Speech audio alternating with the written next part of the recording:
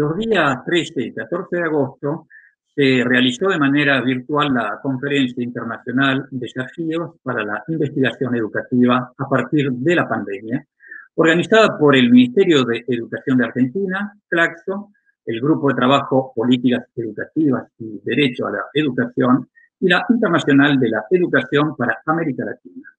Participaron importantes referentes del sistema educativo de varios países de la región, entre ellos el escritor y académico Gary Anderson, profesor en la Universidad de Nueva York en los Estados Unidos, quien nos atiende desde Albuquerque, en Nuevo México. Buenos días, profesor. Un placer estar con ustedes.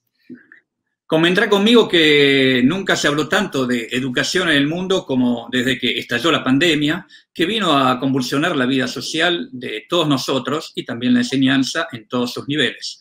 Ello plantea sin duda no solo los desafíos de repensar una educación post-pandemia, sino también deja al descubierto los límites a los que se enfrenta desde hace tiempo, especialmente en regiones como la de América Latina y el Caribe. ¿Se puede pensar en una nueva normalidad sin mirar atrás a los tiempos anteriores a la llegada del COVID-19?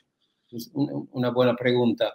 Bueno, no, yo creo que hay que mirar atrás, ¿no? Hay que, hay que entender em, todos los problemas que hemos tenido en las cuatro décadas de políticas eh, sociales neoliberales y cómo nos ha dejado eh, con una eh, superestructura frágil en el país y cómo ha intensificado las desigualdades.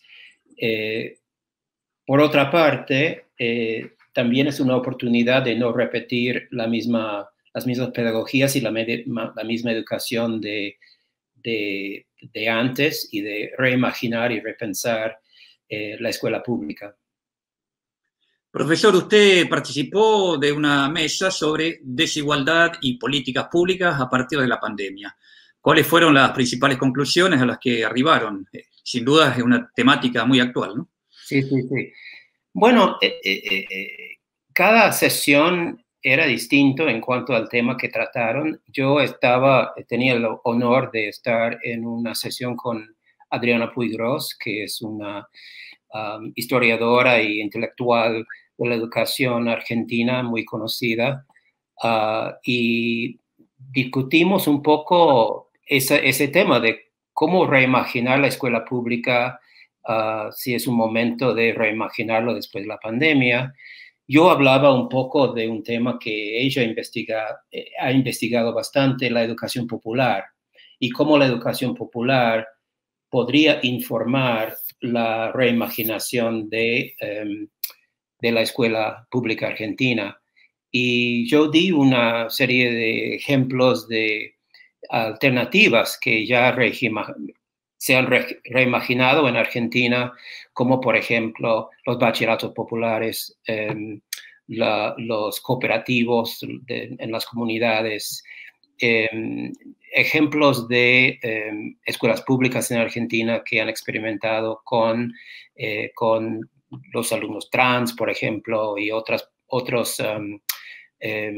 alumnos que normalmente no, han sido bien servidos de las escuelas públicas tradicionales y cómo estas, estos experimentos en la educación que han florecido en, en Argentina podría informar cómo podemos repensar las pedagogías y la educación pública. Eh, y hablando de Estados Unidos, ¿no? ¿Cómo se manifiesta en su país este desfasaje, ¿no? Entre lo público y lo privado a nivel educativo. ¿Son muy pronunciadas las desigualdades? Sí, bastante. Como en todos lados estamos sufriendo una privatización bastante fuerte. Aquí es más bien a través de las escuelas charter y los vouchers y todo eso que están quitando recursos de las escuelas públicas y cada vez más uh, las escuelas públicas van sirviendo los alumnos más marginales, eh, lo, cual ocurre también en Argentina, mucho más en Chile al lado, ¿no? Pero con el subsidio a las escuelas eh, privadas, eh, deja las escuelas públicas para servir em, grupos más marginados. Em, la pandemia en Estados Unidos ha sido bastante desastroso, mucho más acá que allá, me parece, porque allá tenemos uh, 5 millones y medio de, casos. Somos, eh, tenemos 4% de la población del mundo, pero 25% de los casos de virus.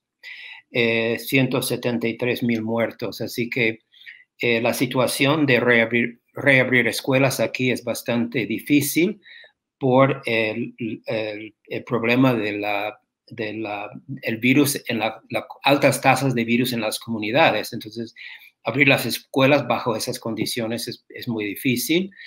Y obviamente hacer la educación virtual ah, también es difícil porque los chicos más marginales no tienen conectividad de Wi-Fi, algunos están sentados en la vereda frente a a McDonald's para agarrar la conectividad que no tienen en casa para hacer las tareas, etcétera, ¿no? Entonces, o, reabrirlos o, hacerlo virtualmente, en ambos casos ah, van sufriendo los más marginales.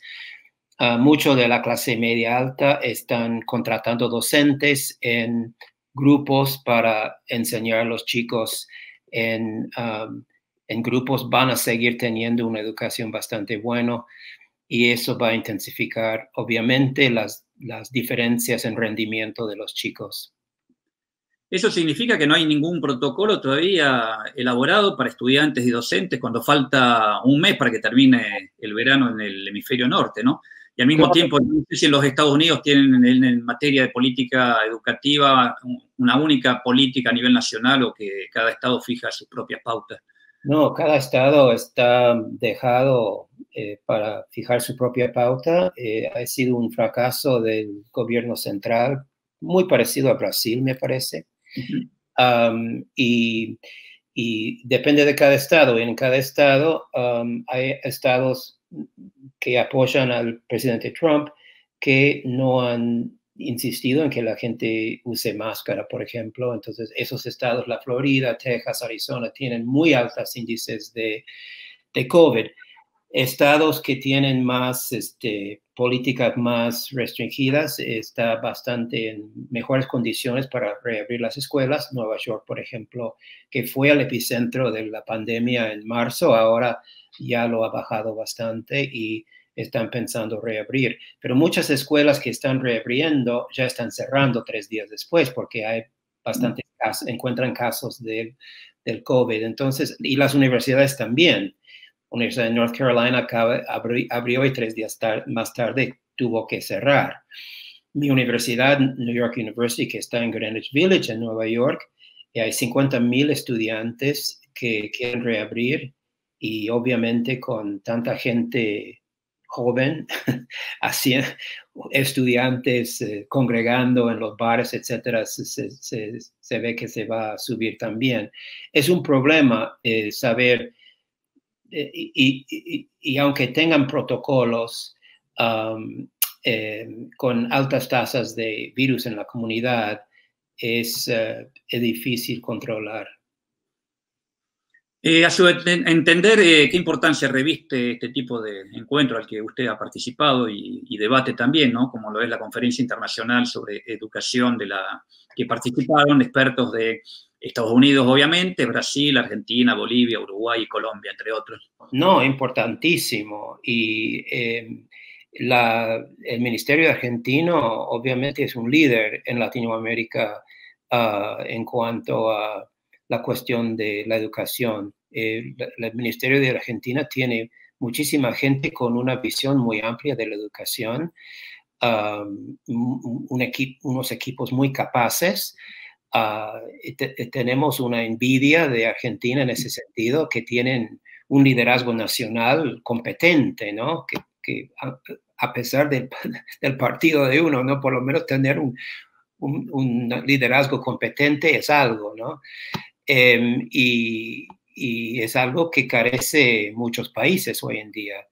Y los ministerios de educación en muchos países eh, incluso tienen gente que están antigobierno, anti escuela pública, ¿no? que están a favor de la privatización, como en el caso nuestro, ¿no? Betsy DeVos, que, que quiere vouchers. Entonces estamos aquí en Estados Unidos este, esperando noviembre y, esperando que pueda haber un cambio de liderazgo que mucho necesitamos. Eh, profesor Gary Anderson, para terminar, cuéntenos brevemente de dónde le surge este, este contacto con América Latina. O en mi caso, bueno, yo en el, en el 1968 tenía 20 años y fui a estudiar a la UNAM en México, en la Ciudad de México. Y ahí aprendí español, eh, como dije en la conferencia, acompañando a mis compañeros mexicanos en los camiones, o sea, los colectivos, para eh, hacer el discurso de la, construir la alianza obrero-estudiantil, ¿no? Que, que, fue una época de mucho movimiento social en México y en el resto del mundo ese año, ¿no? Em, y yo soy de un pueblito noruego en, en, Iowa, en el centro del país, como La Pampa allá. Eh, y cuando me encontré con la cultura latinoamericana, este, como que no quería volver. y desde entonces voy y vuelvo a Latinoamérica lo más que puedo.